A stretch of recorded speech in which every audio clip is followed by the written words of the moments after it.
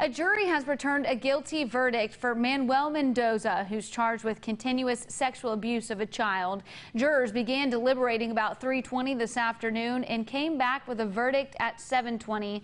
Mendoza was found guilty of aggravated sexual assault of a child and two counts of indecency with a child by contact. He was arrested in 2018 after the then 20 year old woman came forward saying the sexual abuse happened when she would stay at Mendoza's residence when she was about eight or nine years old. The jury is scheduled to set his punishment on Monday.